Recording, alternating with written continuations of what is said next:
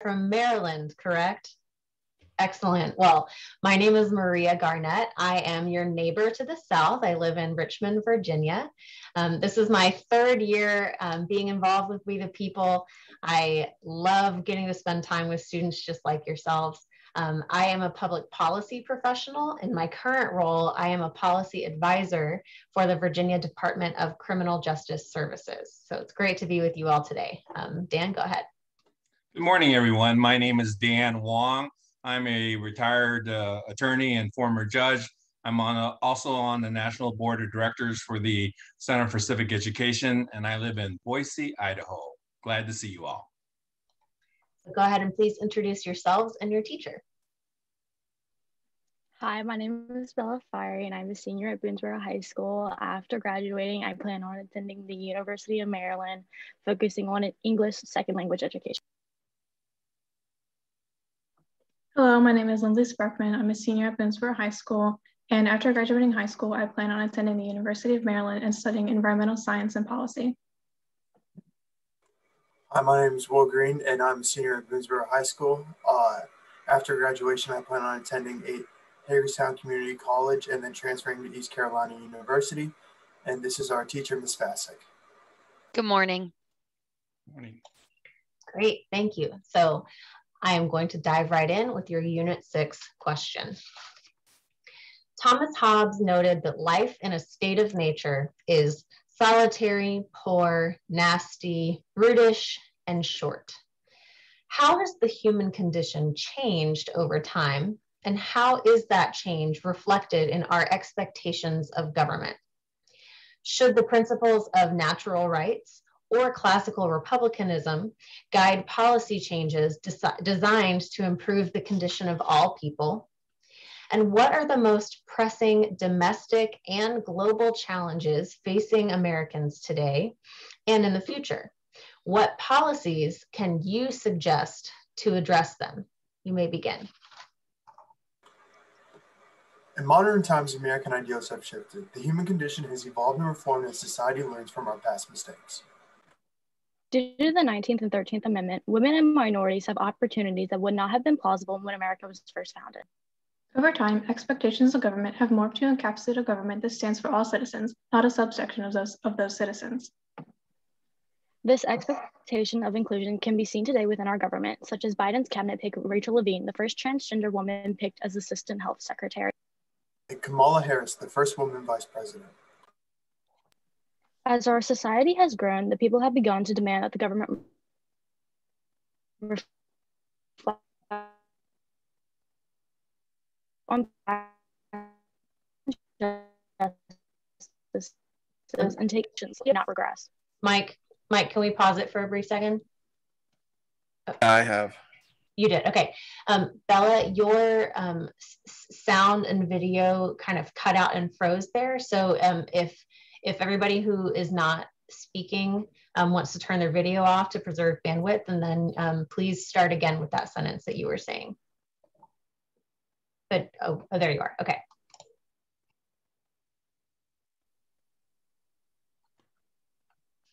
This expectation of, of inclusion can be seen today within our government, such as Biden's cabinet pick for Rachel Levine, the first transgender woman picked as Assistant Health Secretary. And Kamala Harris, the first woman vice president. As our society has grown, the people have begun to demand that the government reflect on past injustices and take action so that the quality of life may not regress. Americans expect our government to create, create laws focused on inclusion.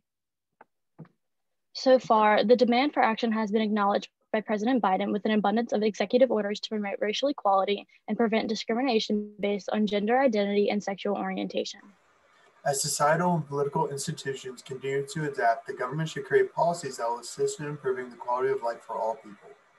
While it is clear that the philosophies of natural rights and classical republicanism have guided the formation and development of our government, the principles of the latter should be the focus of policy changes designed to improve the conditions of people in society. The theory of natural rights, which was crucial to the formation of American democracy, posits that each individual is entitled to certain unalienable rights, which John Locke identified as life, liberty, and property. Natural rights philosophy is used to guide the formation of domestic policies. The individual rights of the people will be protected and not infringed upon by the government. However, the principle of natural rights focuses too heavily on the power of the individual. Classical republicanism emphasizes the common good, which allows the individual to focus on their duty and role as a citizen in society. The theory of common good states that focusing on the self is not cohesive with the benefits of the community, and improving the situation for the majority of society will be the most advantageous for the most people. While human nature may be to focus on the self, a developed democracy has a responsibility to counter the selfishness and provide policies that will benefit all members of society. Both political leaders in developed democracies also have the responsibility to uphold civic virtue and promote policy that benefits their constituents and not themselves. The government can use classical republicanism, specifically common good, to guide policy by developing programs to improve living conditions for the public, such as creating infrastructure like roads and telecommunication systems and Im implementing social welfare programs. The government should also allow the public to involve themselves in the formation of policy in order to uphold the social contract. This system for developing uh, policy directly coincides with the ideas of classical republicanism as it requires the involvement of the pub public in political affairs and the notion of common interest.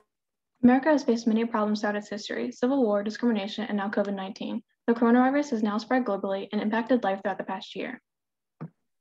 America has embraced curfews, masks, social distancing, and self quarantining as solutions for the pandemic. A new vaccine has been created and now distributed throughout America to slow the spread of the virus. However, these restrictions have caused society to become divided. Some believe their natural rights are being taken, while others believe this is the best course of action. Closely related to the idea of natural rights during the pandemic is the issue of free speech and civil discourse. Some argue that speaking in opposite views, such as protesting COVID restrictions, can cause violence to occur between individuals with differing viewpoints. Another issue is pollution and climate change, caused by carbon emissions that are harming the environment. To combat this, car companies are transitioning into using electric cars and other industries are working to create greener forms of energy. Countries across the world have been making changes to lower emissions, such as agreements like the Paris Accords. The world's problems have solutions, and we are working to implement those solutions. Thank you for listening to our testimony. We're now ready for your questions. Great, thank you all so much. Um, so throughout your opening statement, you made references to the government, but you only sometimes clarified which level of government you were talking about, like with references to the current presidential administration. Um, so which level of government federal, state, local, do you think is best equipped to help promote um, improvements to people's conditions um, based on the principles of classical republicanism and why? I think that from a, at a state level, I think that state governments have a lot of responsibility and power there because classical republicanism also encapsulates the idea of you know small communities being the most um, well formed to promoting the social welfare for the most people because if you have a small community or in this case a state where there's a shared um, interest shared beliefs and more cohesiveness than at a national level you have more of a way to you know represent people's interest and make sure that people um, their quality of life is promoted and to do that at a state level is easier because there would be more agreement and more cohesiveness among um, the people within the state rather than focusing on, you know, putting that at a national level where it would be more complicated and it would be harder for states to agree on what the best course of action would be. And while I agree that the state level may be the best um, opportunity in order to really focus on the common good. Someone on the on the offside could argue that the federal level may be better because depending on what state you live in, different ideals may be focused on depending on the area or the region of the state. But if something is focused on federally, then it doesn't really matter the ideologies that vary between the states because it's federal. So therefore, it applies to all the states. And when we vote in the president, he is supposed to uphold the common good. So therefore, he can extend down his power down to the states to make sure that everyone is represented and there is equality. If I heard correctly, I believe you testified that uh, government should have policies that improve the quality of life for all and that will benefit all. Um, some cynics would say that's impossible to benefit all, improve the quality of life for all. So, what, what, what, what do you say to those where government institutes a policy that benefits most, but not all? What do you say to those people who aren't benefited and whose quality of life isn't increased?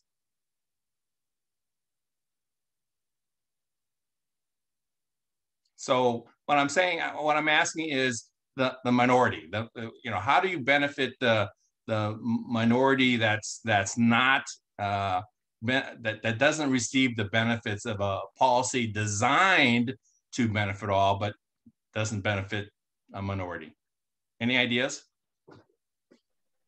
I would say the best thing that you can do, and especially what I've seen mostly in modern society, is continue to protest and advocate for yourselves. Because I think now with the media, with protesting, that'll gain the most coverage. And if the federal government can see that people are truly interested in advocating for groups that often have been unheard, most likely policy changes will occur because they see this domino effect of everyone coming together and everyone advocating for those people. Going off of what my colleague said, um, uh, with the protests, uh, uh, federal governments could write legislation that could specifically help those minorities that aren't being helped, uh, which could bring, uh, which could uh, help them improve their quality of life while also having the other policies that help everyone else, so everyone else can be helped.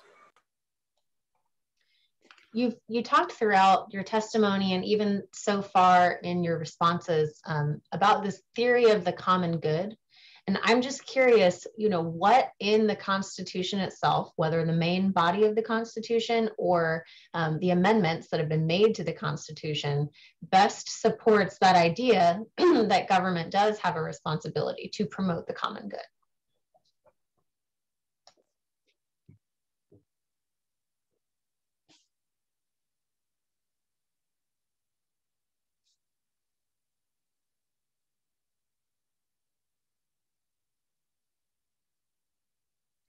Well, what about, that, go ahead.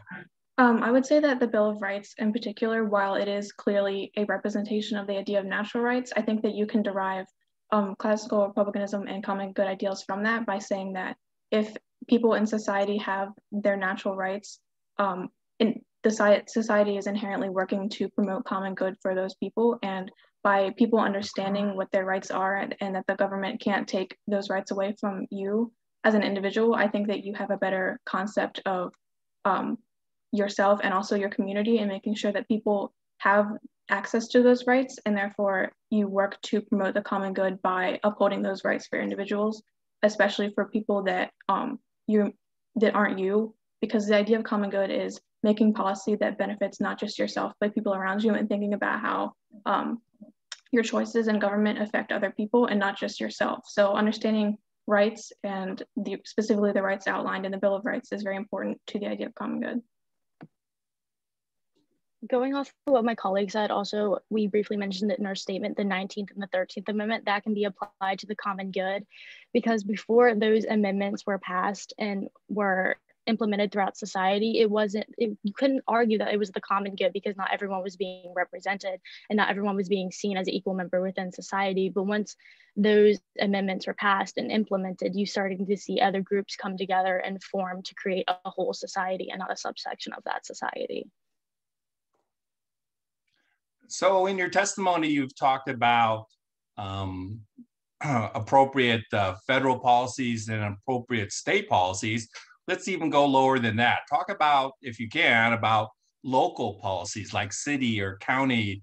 Uh, what city or uh, county uh, policies can be implemented that will help the most people, and what issues should they be addressing at the local level? Because I, have heard that politics are always local. Have any ideas? Uh, local uh, local governments have the most insight into that area and uh, region, so they can give they can uh, write the best policies uh, to help promote uh, the whole community the whole community because they are there and they're seeing it compared to someone at the state or uh, federal uh, level who could be miles away and not there seeing it seeing what's affecting the town or community. So I believe that local government can write the best policy for uh, advocating for uh, towns issues. Yeah, but what what what issues? What local town issues should, uh, would they should they address? I think specifically, um, local governments could you know, create infrastructure programs. Like if they want to improve the community and make the city a better place, they might, you know, build more parks or more um, social places where people can gather and um, like community centers um, specifically aimed at, you know, bringing the community together and getting um, input from certain groups about, you know, what changes they would like to see and how to improve their community. So I think it's more focused on, you know, the social aspect and how the city is formed to um, improve the conditions of the people within. All right, that is time. All right. Yeah. Thank you all so much. Dan and I are going to give you some feedback now on how you did. Um, you know, you all responded really well to questions that, you know, maybe you weren't anticipating or, or maybe might have seemed kind of like curveball questions. And I, I really appreciated that even, even when you, you know, were pausing and thinking about a question, you didn't give up. You know, you, you really worked to um, do your best to answer those questions. And I think that you all, you know, supported one another and built off of one another in a really compelling way. Um, so just know that I very much noticed that. Um, some constructive feedback that I have for you. Um, one, in person, this is not as big of a deal because everybody's just looking at everybody, but virtually, the constant changing back between people on your team was actually a little bit difficult to follow. Um, and, it, and I think it kind of ate into the time that you had. So instead of one person getting to continue an argument, you know, there were more little pauses as one person stopped and the other one started. So, so maybe think about that going forward.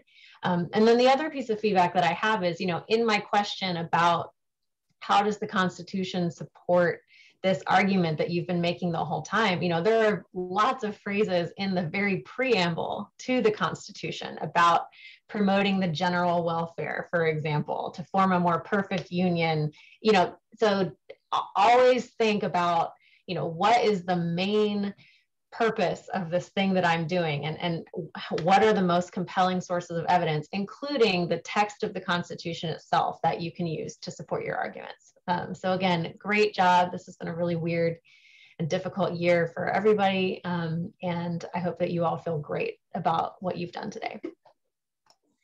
I, too uh, appreciated your your testimony. I mean, it took a little while to get there to talk about local issues, but you got there. Infrastructure, parks, community centers. Um, uh, what I was thinking as far as uh, infrastructure was traffic. Uh, that's a big local issue.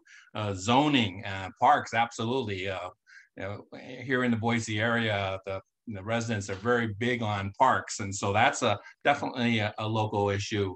And so you got there. It took a little while, but you got there. And, and there are policies uh, that are best addressed at the local level. There are policies best addressed at the state level, and there's policies best addressed at the federal level. And, and uh, you, you, you obviously recognize that.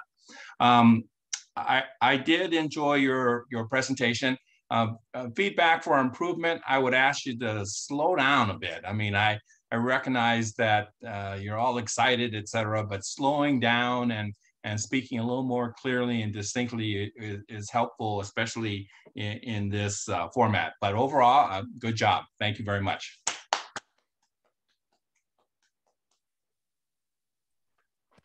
Sorry, my bad. All right, so that concludes this. Thank you for your participation and good luck for the rest of your afternoon.